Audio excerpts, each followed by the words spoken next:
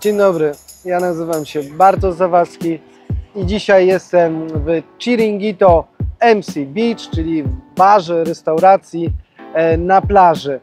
Dzisiaj mamy mm, poniedziałek wielkanocny, no ale w Andaluzji poniedziałek wielkanocny jest normalnym dniem pracującym, dniem wolnym jest e, Wielki Czwartek i Wielki e, Piątek, więc dzisiaj normalnie pracujemy i właśnie w przerwie od pracy postanowiłem nagrać kilka słów na temat dla kogo są nieruchomości w Hiszpanii, czy ceny nieruchomości w Hiszpanii są niskie, czy jest e, tanio e, i o trzech kwestiach związanych z zakupem nieruchomości, o których powinniśmy pamiętać.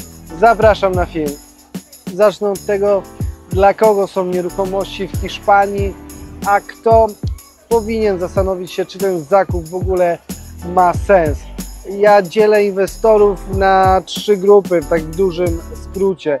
Pierwsza grupa inwestorów to są osoby, które chcą korzystać z tej nieruchomości. Mm, Prawdopodobnie będą spędzać tutaj zimę albo będą przyjeżdżać na krótsze okresy, ale często.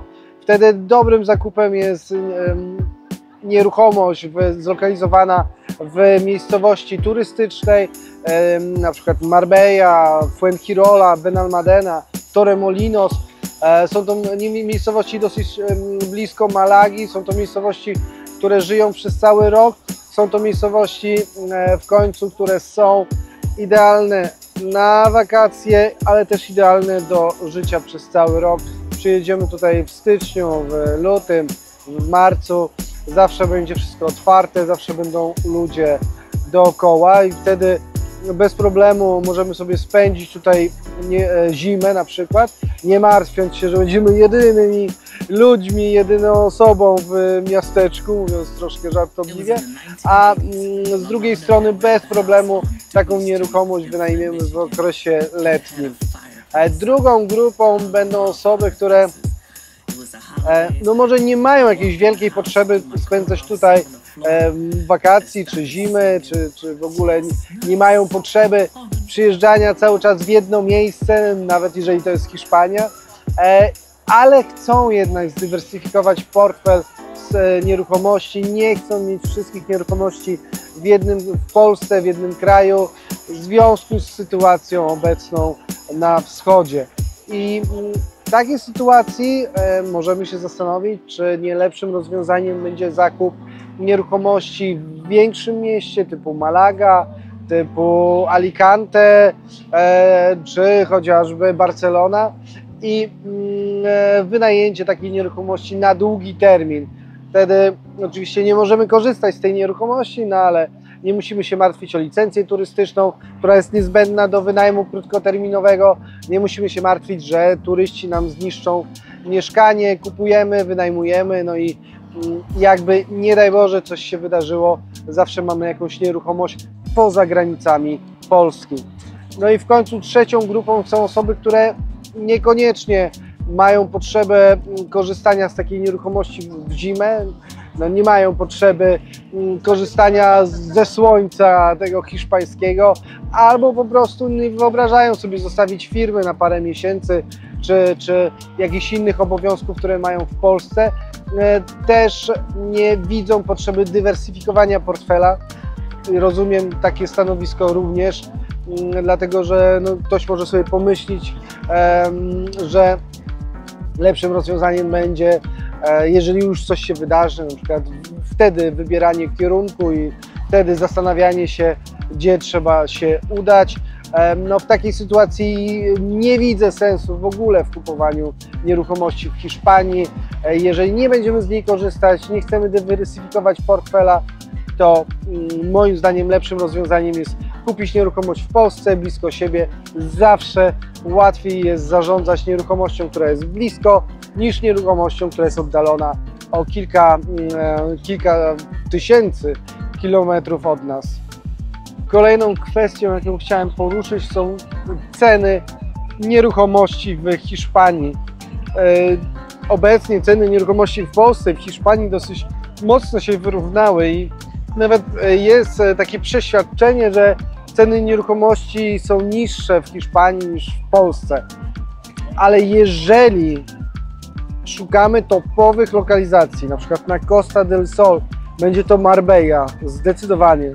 Jeżeli, mm, albo na przykład, mm, może nie aż tak topowa lokalizacja jak Marbella, ale Fuengirola, mm, Cala de Mijas, Torremolinos, są to również lokalizacje bardzo pożądane, może trochę mniej znane, może, może trochę mniej topowe, ale również bardzo pożądane, bardzo blisko lotniska.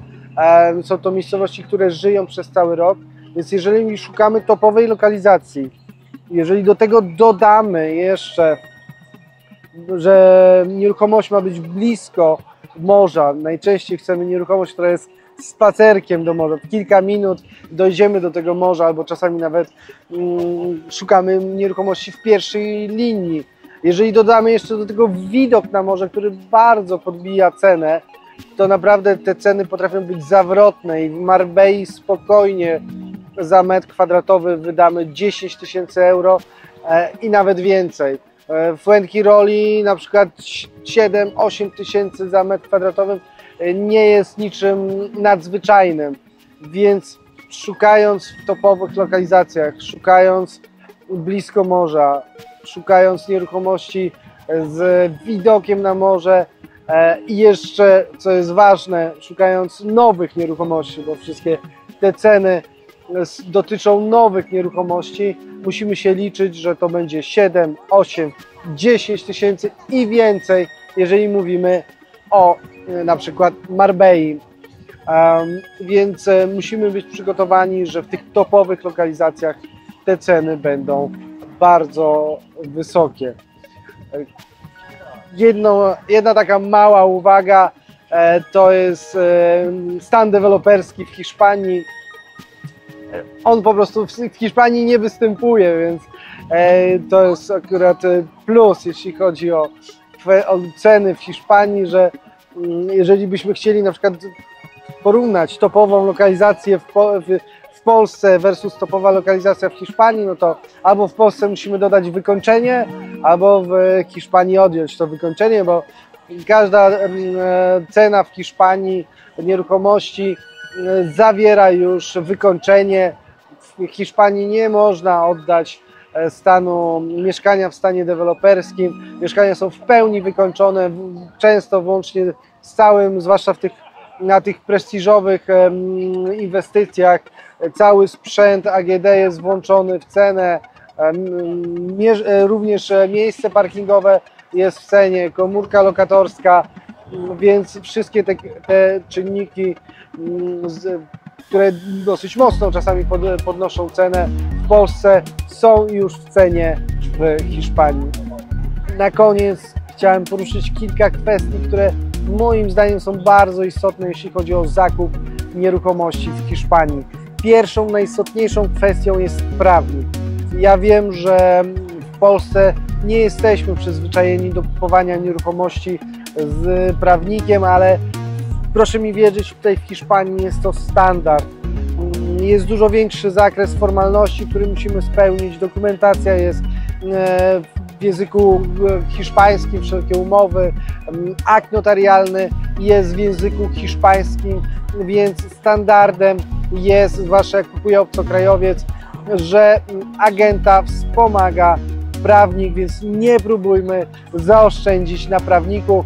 Prawdopodobnie będzie to 1% ceny nieruchomości, a może nawet i mniej. Kolejną kwestią, moim zdaniem istotną, która ma wpływ na transakcje, na zakup nieruchomości, jest umawianie się z wieloma agentami e, podczas jednego pobytu. Jeżeli mówimy o mm, rynku pierwotnym, jeżeli mówimy o agencjach, które działają od- od wielu lat na rynku, tak jak nasza, to moim zdaniem to w ogóle nie ma sensu. Prawdopodobnie agencje będą miały dostęp do tych samych inwestycji. Mm, Przecież tych, tych inwestycji jest oczywiście cała masa, ale takich w topowych lokalizacjach, e, wyróżniających się, no ich nie ma nie wiadomo ile, więc jest duża szansa, że większość inwestycji będzie się pokrywać. Więc umawianie się z, z wieloma, czy nawet z dwoma agentami po prostu mija się z celem i powoduje bałagan.